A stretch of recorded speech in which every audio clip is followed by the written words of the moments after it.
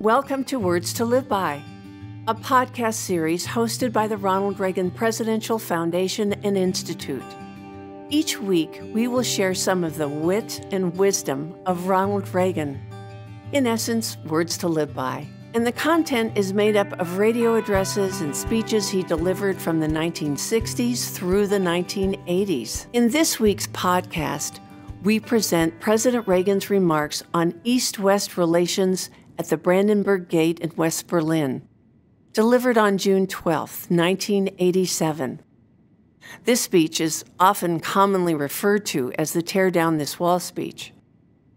Writing about that speech in his book, Speaking My Mind, Ronald Reagan said, The Brandenburg Gate and the Berlin Wall separate Berlin into East and West. In spite of the changes that are going on in communist countries, especially the Soviet Union, that wall is a reminder of the difference between freedom and totalitarianism. The people of East Berlin are walled in with barbed wire and booby trapped explosives. Our advanced people had put up speakers aimed at East Berlin, hoping that my speech might be heard on the other side. I could see the East German police keeping people away so that they couldn't hear. They simply don't realize it's going to take more than that to keep out the stirrings of freedom. There's a couple of sentences in this speech about tearing down the wall and opening the gate that I like quite a bit, and it actually makes the speech. I'm told that the State Department and the National Security Council thought the lines were too provocative. Just because our relationship with the Soviet Union is improving doesn't mean we have to begin denying the truth. That is what got us into such a weak position with the Soviet Union in the first place. The line stayed and got quite a reaction from the crowd. How did the sentence get into the speech in the first place? Here's Peter Robinson to tell the story. It is true indeed. I was there for research. I was only there for about a day and a half. and I went around to various sites in Berlin, beginning with where the president would speak. And then that evening, I broke away from the American Party, that is to say, the advance men, the press people, and the security and so forth, and got into a cab and went out to a suburban home in West Berlin where the Eltzes, Dieter Eltz and Ingeborg Eltz, whom I had never met before, but we had friends in common in Washington, put on a dinner party for me of West Berliners, simply so I could get to know some West Berliners. And we chat a little bit, and then I said, I have to tell you that the ranking American diplomat in Berlin earlier today told me, President Reagan's speechwriter, don't, don't make a big deal out of the wall. They've gotten used to it by now. And I, and I had been flown over the wall in a U.S. Army helicopter. So I said, I, is that it looks to me as though it would be the kind of thing that would be hard to get used to. Is it true? Have you gotten used to it? And there was a silence. And then one man raised his arm and pointed. And he said, My sister lives just a few kilometers in that direction, but I haven't seen her in more than 20 years. You think we can get used to that? So they had stopped talking about it, but they hadn't gotten used to it. We went around the room. Another fellow said, I walk to work by the same route each day. I pass under a guard tower, and there's a young man on that tower with a rifle over his shoulder who looks down at me with binoculars. We share the same history, we speak the same language, but one of us is a zookeeper and the other is an animal. And I've never been able to decide which was which. And then our hostess, a lovely woman called, Inge, called Ingeborg Eltz, who just died a couple of years ago. And, and she was a lovely woman. She was a gracious hostess, but she became angry. And she said, if this man Gorbachev means this talk, this perestroika, this glasnost, he can prove it by coming here and getting rid of that wall. And that was, now, by this point, I'd been in the White House for five years. I knew Ronald Reagan. I don't mean to say that I played cards with Ronald Reagan or that I was a guest at the ranch, nothing of that kind. The relationship was entirely professional, but we speechwriters, it was our job to know the mind of the president, to watch which material he liked, to understand how he thought. And I just knew the moment she said that, that if Ronald Reagan had been there, he would have responded to that. The simplicity, but the power of that remark. And so I put it into my notebook and went back to the White House. And that did become the basis for tear down this wall. Thank you.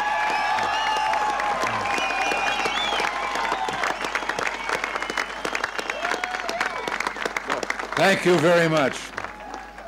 Chancellor Kohl, Governing Mayor Diepgen, ladies and gentlemen, 24 years ago, President John F. Kennedy visited Berlin. And speaking to the people of this city and the world at the City Hall, well, since then, two other presidents have come, each in his turn to Berlin. And today, I myself make my second visit to your city.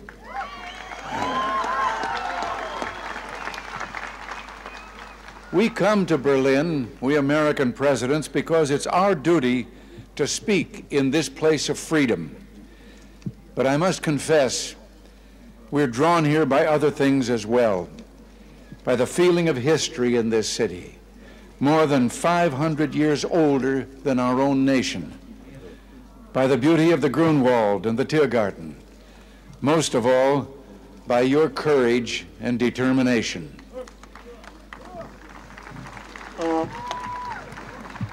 Perhaps the composer Paul Lincke understood something about American presidents.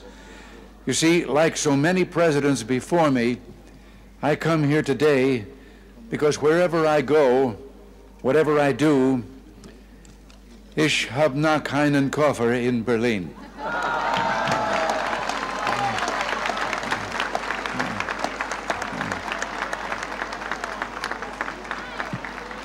Our gathering today is being broadcast throughout Western Europe and North America. I understand that it is being seen and heard as well in the East. To those listening throughout Eastern Europe, I extend my warmest greetings and the goodwill of the American people. To those listening in East Berlin, a special word. Although I cannot be with you, I address my remarks to you just as surely as to those standing here before me. For I join you as I join your fellow countrymen in the West in this firm, this unalterable belief, es gibt nur ein Berlin.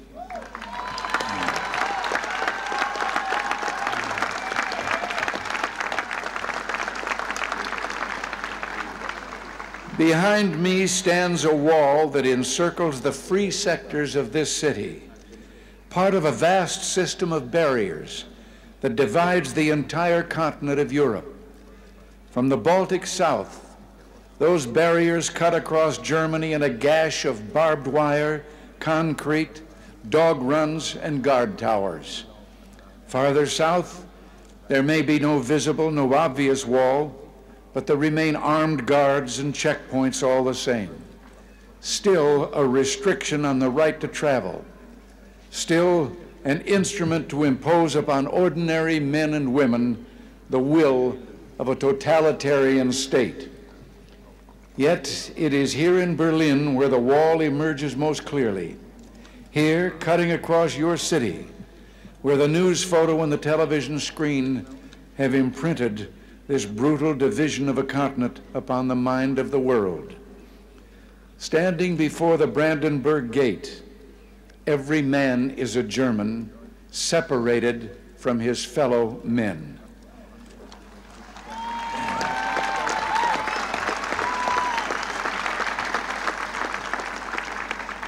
Every man is a Berliner forced to look upon a scar.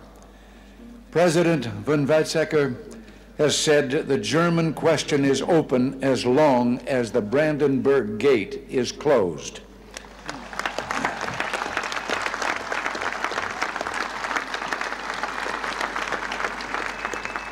Today, today I say as long as this gate is closed, as long as this scar of a wall is permitted to stand, it is not the German question alone that remains open, but the question of freedom for all mankind.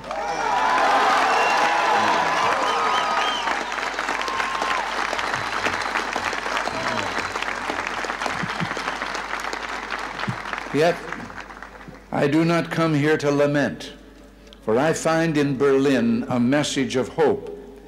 even in the shadow of this wall, a message of triumph. In this season of spring in 1945, the people of Berlin emerged from their air raid shelters to find devastation. Thousands of miles away, the people of the United States reached out to help. And in 1947, Secretary of State, as you've been told, George Marshall, announced the creation of what would become known as the Marshall Plan. Speaking precisely 40 years ago this month, he said, Our policy is directed not against any country or doctrine, but against hunger, poverty, desperation, and chaos.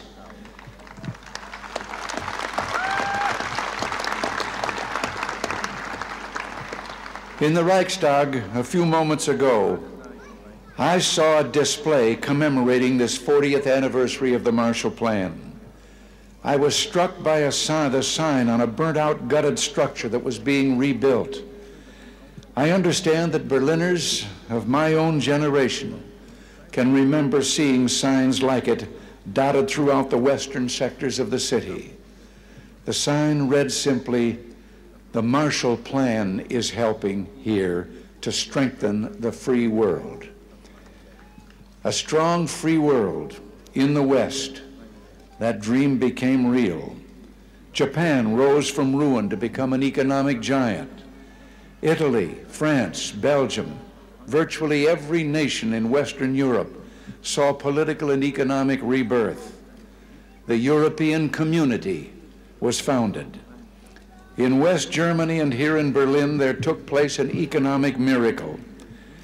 The Wirtschaftswunder, Adenauer, Erhard, Reuter, and other leaders understood the practical importance of liberty, that just as truth can flourish only when the journalist is given freedom of speech, so prosperity can come about only when the farmer and businessman enjoy economic freedom. The German leaders the German leaders reduced tariffs, expanded free trade, lowered taxes. From 1950 to 1960 alone, the standard of living in West Germany and Berlin doubled. Where four decades ago there was rubble, today in West Berlin there is the greatest industrial output of any city in Germany. Busy office blocks, fine homes and apartments, proud avenues and the spreading lawns of parkland. Where a city's culture seemed to have been destroyed, today there are two great universities, orchestras, and an opera, countless theaters and museums. Where there was want, today there's abundance, food, clothing, automobiles, the wonderful goods of the Kudamm.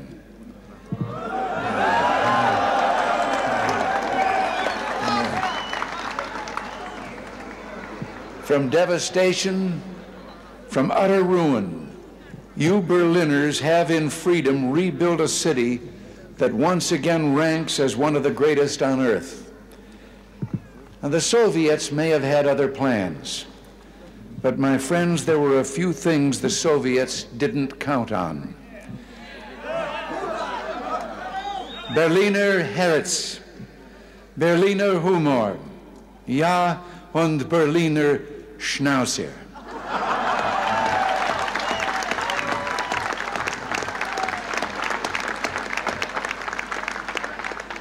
In the 1950s, in the 1950s, Khrushchev predicted, we will bury you. But in the West today, we see a free world that has achieved a level of prosperity and well-being unprecedented in all human history. In the communist world, we see failure, technological backwardness, declining standards of health. And now, now the Soviets themselves may, in a limited way, be coming to understand the importance of freedom. We hear much from Moscow about a new policy of reform and openness. Some political prisoners have been released. Certain foreign news broadcasts are no longer being jammed. Some economic enterprises have been permitted to operate with greater freedom from state control. Are these the beginnings of profound changes in the Soviet state, or are they token gestures intended to raise false hopes in the West or to strengthen the Soviet system without changing it? We welcome change and openness, for we believe that freedom and security go together, that the advance of human liberty the advance of human liberty can only strengthen the cause of world peace. There is one sign the Soviets can make that would be unmistakable, that would advance dramatically the cause of freedom and peace. General Secretary Gorbachev, if you seek peace, if you seek prosperity for the Soviet Union and Eastern Europe, if you seek liberalization, come here to this gate. Mr. Gorbachev, open this gate.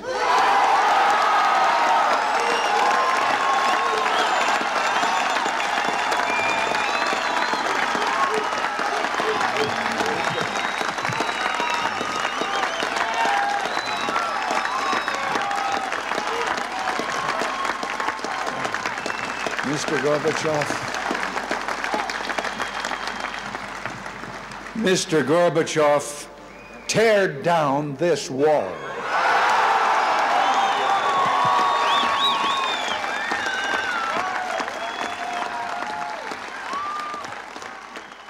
More from President Reagan's address after this message. The Ronald Reagan Presidential Foundation is the nonprofit organization created by President Reagan himself and specifically charged by him with continuing his legacy and sharing his principles individual liberty, economic opportunity, global democracy, and national pride. We must remain vigilant and work together to share these conservative principles with younger generations. Your role is critical to move our mission forward. Thank you for your continued support. Please visit reaganfoundation.org/give. That's reaganfoundation.org slash give.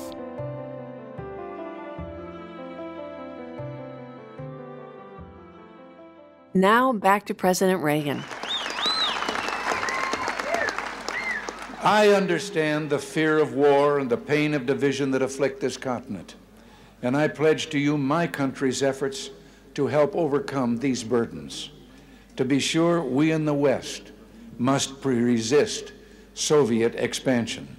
So we must maintain defenses of unassailable strength. Yet we seek peace, so we must strive to reduce arms on both sides. Beginning 10 years ago, the Soviets challenged the Western alliance with a grave new threat. Hundreds of new and more deadly SS 20 nuclear missiles, capable of striking every capital in Europe. The Western Alliance responded by committing itself to a counter deployment.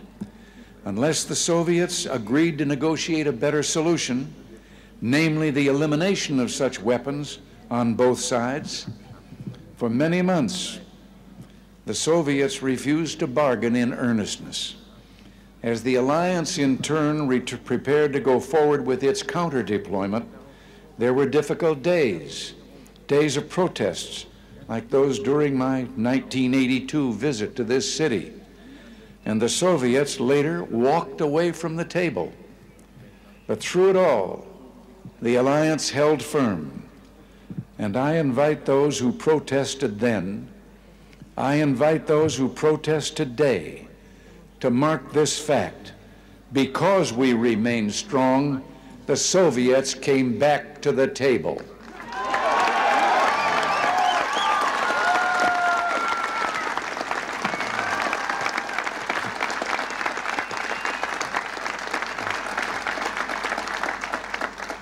Because we remain strong today, we have within reach the possibility not merely of limiting the growth of arms, but of eliminating for the first time an entire class of nuclear weapons from the face of the earth.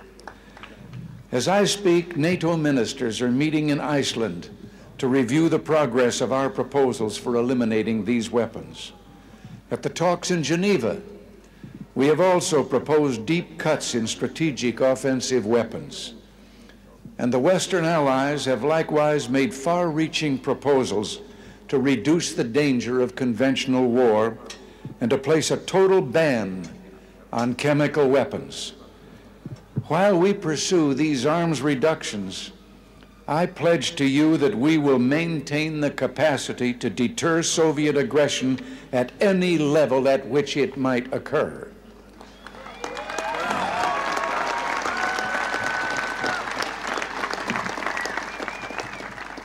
And in cooperation with many of our allies, the United States is pursuing the Strategic Defense Initiative, research to base deterrence not on the threat of offensive retaliation, but on defenses that truly defend, on systems, in short, that will not target populations, but shield them. By these means, we seek to increase the safety of Europe and all the world. But we must remember a crucial fact. East and West do not mistrust each other because we're armed. We're armed because we mistrust each other.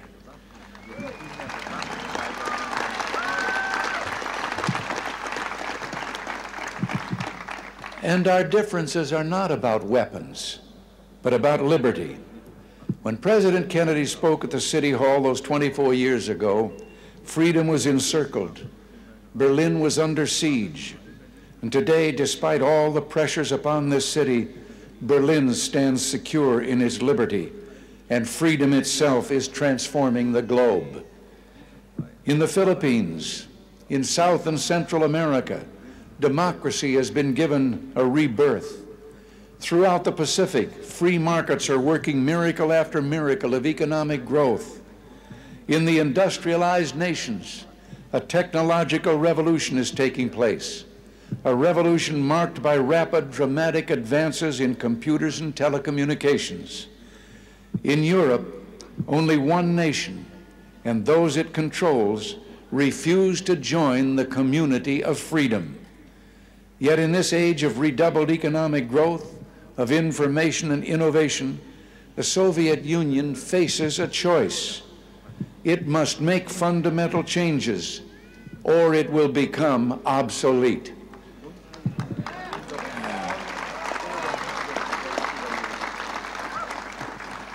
Today, thus represents a moment of hope.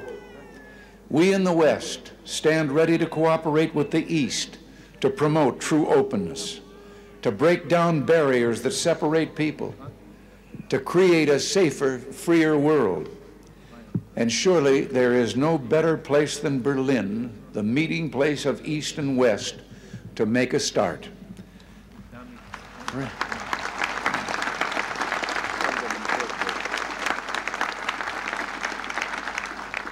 Free people of Berlin, today as in the past, the United States stands for the strict observance and full implementation of all parts of the Four Power Agreement of 1971. Let us use this occasion, the 750th anniversary of this city, to usher in a new era, to seek a still fuller, richer life for the Berlin of the future. Together, let us maintain and develop the ties between the Federal Republic and the western sectors of Berlin, which is permitted by the 1971 agreement. And I invite Mr. Gorbachev let us work to bring the eastern and western parts of the city closer together so that all the inhabitants of all Berlin can enjoy the benefits that come with life in one of the great cities of the world.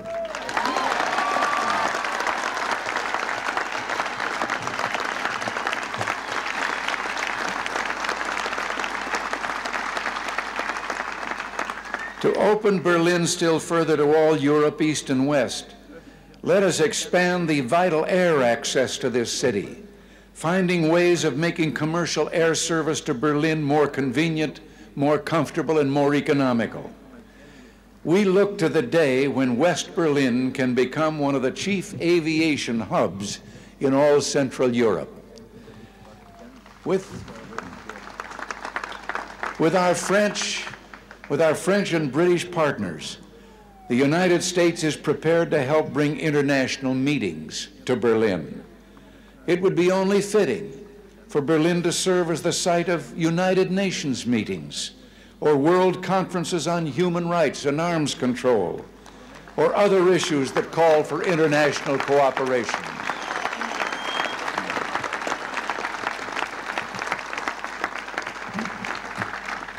There is no better way to establish hope for the future than to enlighten young minds. And we would be honored to sponsor summer youth exchanges, cultural events, and other programs for young Berliners from the East. Our French and British friends, I'm certain, will do the same. And it's my hope that an authority can be found in East Berlin to sponsor visits from young people of the Western sectors.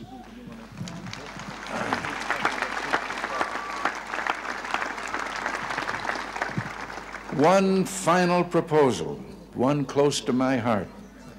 Sport represents a source of enjoyment and ennoblement. And you may have noted that the Republic of Korea, South Korea, has offered to permit certain events of the 1988 Olympics to take place in the North. International sports competitions of all kinds could take place in both parts of this city. And what better way to demonstrate to the world the openness of this city than to offer in some future year to hold the Olympic Games here in Berlin, East and West.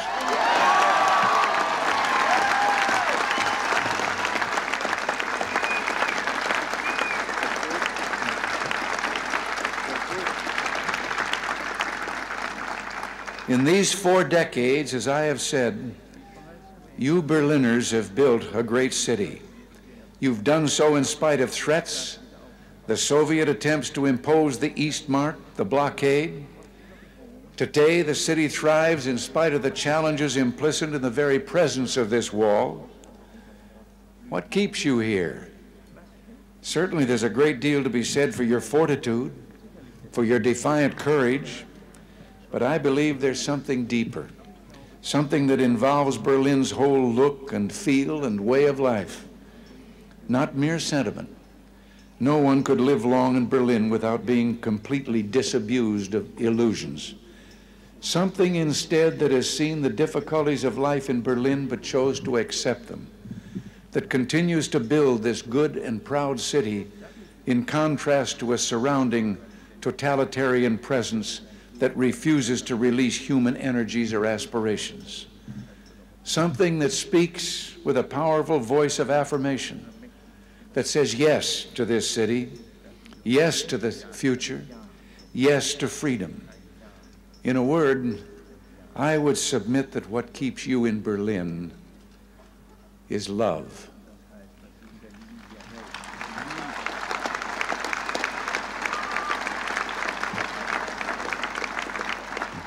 Love both profound and abiding. Perhaps this gets to the root of the matter, to the most fundamental distinction of all between East and West.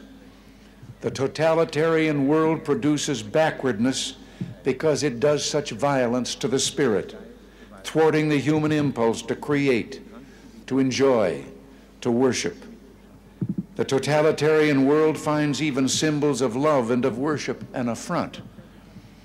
Years ago, before the East Germans began rebuilding their churches, they erected a secular structure, the television tower at Alexanderplatz.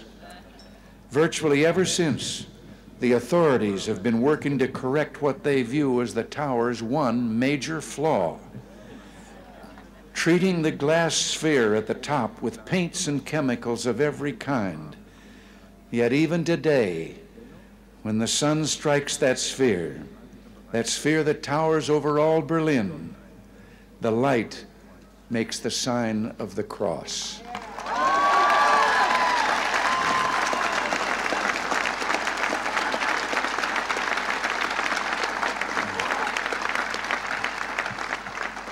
There in Berlin, like the city itself, symbols of love, symbols of worship, cannot be suppressed. As I looked out a moment ago from the Reichstag, that embodiment of German unity, I noticed words crudely spray painted upon the wall, perhaps by a young Berliner. Quote, this wall will fall, beliefs become reality.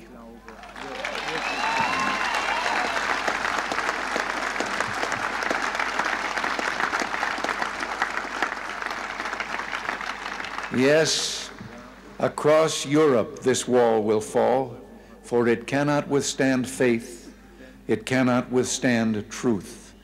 The wall cannot withstand freedom. And I would like, before I close, to say one word. I have read and I have been questioned since I've been here about certain demonstrations against my coming. And I would like to say just one thing and to those who demonstrate so. I wonder if they have ever asked themselves that if they should have the kind of government they apparently seek, no one would ever be able to do what they're doing again.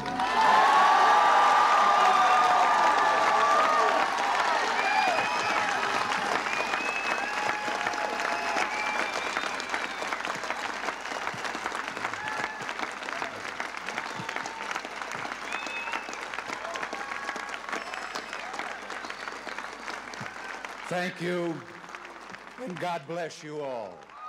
Thank you. On November 9th, 1989, approximately two and a half years after President Reagan's most historic speech, the Berlin Wall fell.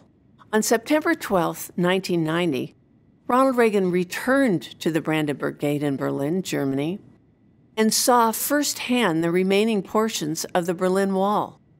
What once stood as a symbol of Soviet domination now lay crumbled as a testimony to the strength of the people and their will and determination to overcome oppression and tyranny. When Reagan challenged General Secretary Gorbachev in 1987 to tear down this wall, he was confident that freedom would eventually prevail, but no one, including him, would ever have imagined how quickly this would take place. Nothing in Reagan's post presidential years could compare to the satisfaction and pride he felt in seeing the Berlin Wall become a relic of the past. The people of the East were once again free, and Germany was united under one flag. In Reagan's lifetime, great progress had taken place, and the world had Ronald Reagan to thank for much of that change.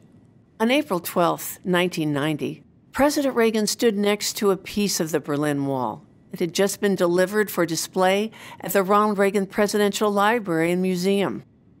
It weighed 6,338 pounds and stood nine and a half feet tall, just one piece with its colorful graffiti featuring a large butterfly on its west side and the stark gray concrete showing on its east side. President Reagan remarked, Let our children and grandchildren come here and see this wall and reflect on what it meant to history. Let them understand that only vigilance and strength will deter tyranny. Thank you for listening. For more information on the Ronald Reagan Presidential Foundation and Institute, including information on how to become a member, information on upcoming exhibits at the Reagan Library, or more information on the legacy of President Reagan, please visit reaganfoundation.org. And don't forget to like and follow the Reagan Foundation on all social media platforms. Until next week, thanks for listening. God bless you.